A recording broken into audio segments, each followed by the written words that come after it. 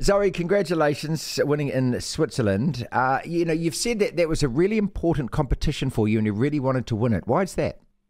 Yeah, um, yeah, it was definitely a special win for me because um, I've never won the LAAX Open before and it's a very prestigious and respected event in the sport. Um, Christy Prior, another Kiwi female snowboarder, um, won it in 2015 and um, she was a huge inspiration for me. So I really wanted to um, tick that one off the competition bucket list. And and I've been I've been reading uh, you know what you did and your ability to to kind of make subtle changes in your runs mid course and things. But I just thought that you know rather than me try and clumsily explain this, you explain it to us exactly what what did you do on those runs. Yeah, for sure. So um, usually in a slopestyle final, there's three runs, but um, in Switzerland they historically do two run final, which means you only get two opportunities. And um, myself, I usually um, fall and end it so that on my last run I have to, like the pressure's on and I have to put it down. So I was stoked that I put it down on my first run. Um, but yeah, for my for my run, I did a back blunt 270 on the first rail, front blunt 450 on the second rail, switchback nine, front 10, back seven, and then a 50-50 up the last feature, the front one out, and then cab one off the whale tail, which probably sounds like gibberish, but if you snowboard and ski, um, you'll understand what I'm saying. Right, right. Oh, I mean, I love the, what is it? The one, is the one two seventy. Talk me through that because that's numbers bigger than all of the others. So that's about three, four spins, is it? No, the two seventy is the smallest actually. Um, the biggest is the 1080, which was on the second jump for me, which means um, three full um, rotations, and uh, it's got a bit of a cork in it, so it doesn't look like you're just spinning on a on a top. Um, you like kind of do like a 540 into another 540, um, which is uh, complicated, but it's a really fun trick, and um, yeah, I was stoked to put it in my run. How physically fast are you going when, you know, has anyone measured you? Like, I mean, how many uh, kilometres an hour is it when you're actually doing those spins? Um, I'm actually not too sure. I we definitely like experience a lot of G forces when we're in the air, um, and that's the main thing. Um, I'm I'm not really too sure. Okay. Do you do you concentrate like you know when ice skaters do those amazing you know you know they, they kind of finish their their their routines and they you know do about twenty five thousand. It looks like you know sort of spins and spins around. Apparently, you're meant to concentrate on just one point and keep looking at that. Is that what you do as well?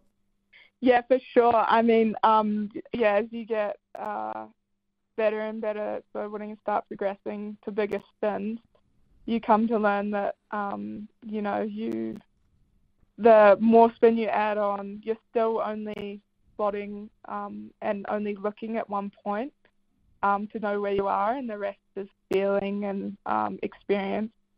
So um, yeah, kind of completely blind for most of the trick, and and you use one time in the rotation to actually know where you are and slow it down. Land. My, best silly question. Do, do you ever shut your eyes or not, or is it your eyes open the whole time? Um, sometimes it feels like I've shut my eyes because I'm spinning so fast. But right. no, um, that would be crazy. Zoi Sadowski Synnott is with us, preparing for the X Games in Colorado, and I've spoken to you about this before in previous interviews about how you know where you put these X Games on a real pinnacle for you. You've always said that this is the ultimate in your sport. Do you still do you still feel that?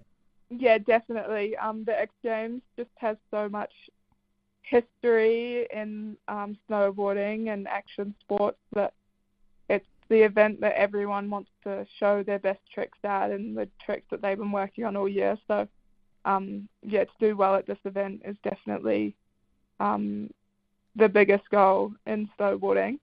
Um, so, yeah, I'm really looking forward to this week to ride the course and experience the X Games um, without COVID this time around, which is super exciting. And yeah, it's going to be fun. Have you got any other tricks up your sleeve, or you're not allowed to say? Because I'm I'm I'm thinking, when do you get a chance to actually just practice, train, and and and actually work on new things? Mm, yeah. So for me, um, I train mostly in the New Zealand season and kind of spend my whole time down there when I'm at home, um, trying to learn new tricks and um, on some skills. So um, for me in New Zealand, I learned a switch backside 1260, which um, no female snowboarder had ever done before, and I'm still the only one to do it. So I'm hoping to put that down at X Games this week, and um, and yeah, hopefully it all goes well. So that's a switchback 1260. Okay, explain what. So w- w- explain when we're looking at it. What are you doing?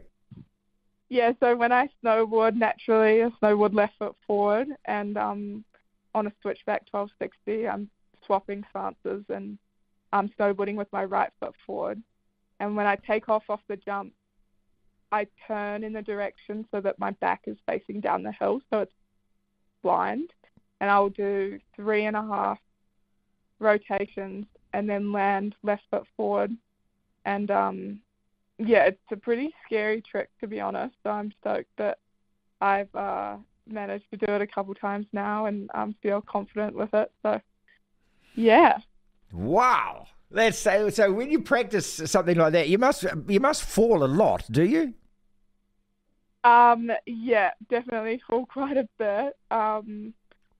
Um, but like I think as you get more experience snowboarding and um, you learn different rotations, it helps you with other rotations. So I feel like as you get better, you kind of fall less, but it's definitely a couple years in the making to land that trick, and I'm super stoked that um, I finally managed to do it, and I'm yeah really excited to try and land it this week. Because that's another entirely different bit of your sport, isn't it? Winning medals, winning competitions is one thing, but actually doing something that no one else on the planet has ever done before. Man, how cool is that? Yeah, it definitely feels pretty special when you um, get a NVD and um, yeah, have that kind of title to your name. Um, so yeah, and then once you do progress and get that next trick, you're always looking at um, at the next one. So that's what makes it so exciting and and keeps you pushing. Forgive me for being stupid, Zoi. NVD, what does that mean? Uh, never been done. NVD. Easy. Okay, never been, never NVD, never been done. Oh, of course, brilliant. Um, are you better now, or how much better are you now than you were at the last X Games? Uh, wow, that's a hard question. I feel like um, I've I I guess I, I worked pretty hard in the New Zealand season, and I hope that I've put in enough work to um, put a, a rundown that I'm stoked on and um, build off last year. Um, but you know, with snowboarding, it's also about being creative. So kind of hard to say better and stuff. But you know, I hope I hope I am. What and, and, a couple more quick questions. We'll let you go. What you know? How what what kind of buzz is it winning? Is what you know compared to like doing something that no one's been done before, but winning these competitions. I mean, what does that feel like? Does it ever get? Does it do? do does it does it ever get old to you, or every time does it is it does it feel more of a thrill than it was the last time?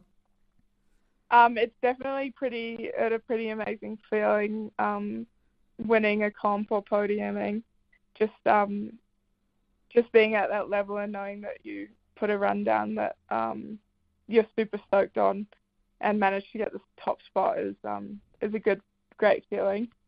Um, but yeah, I just hope, uh, like for the future in my career, I just want to like ride my best and um, keep progressing, and hopefully that comes with medals and wins. And um, yeah, that's that's yeah, that's my plan.